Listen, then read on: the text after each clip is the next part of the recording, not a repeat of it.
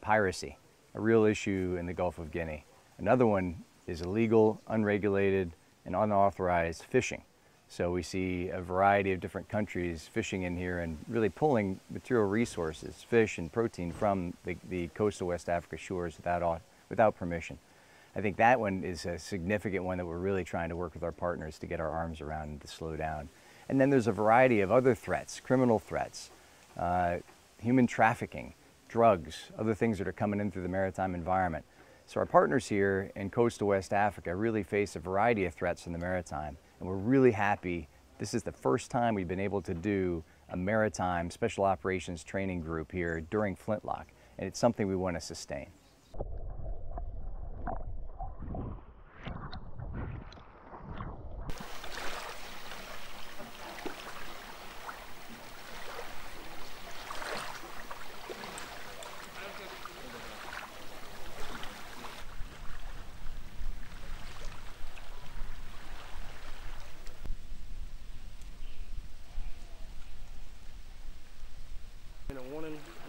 She's gonna yell again, and then we're gonna get everybody up there so nobody gets in the way, and then you guys stay.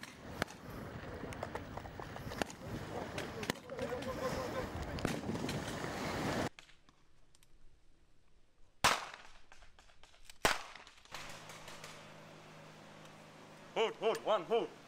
There's move, there's move.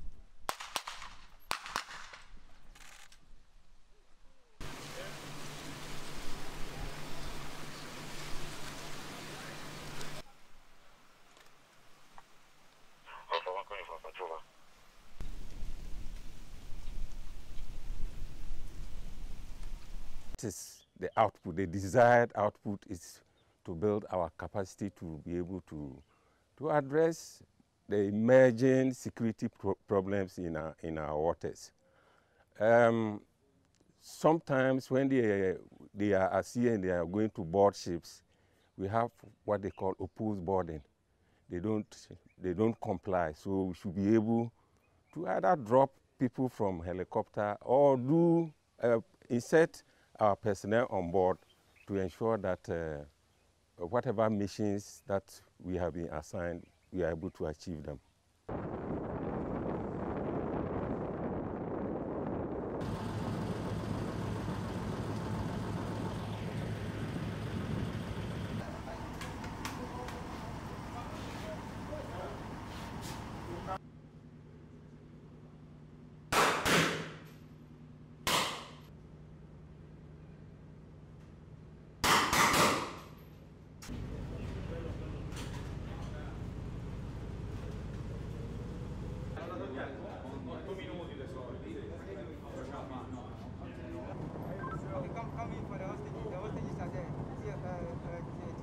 Number one, it's criminal activity, right? Number two, it actually pulls resources, food, from the mouths of our partners in coastal West Africa.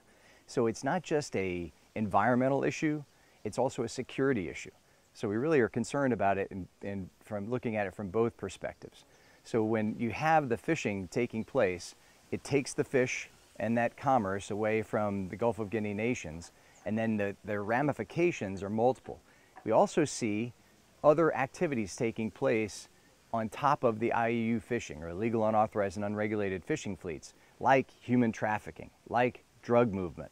And so it's like many smuggling networks or illegal activities, you see multiple layers of illegal activity happening under the guise of IUU fishing. Stable, Stable.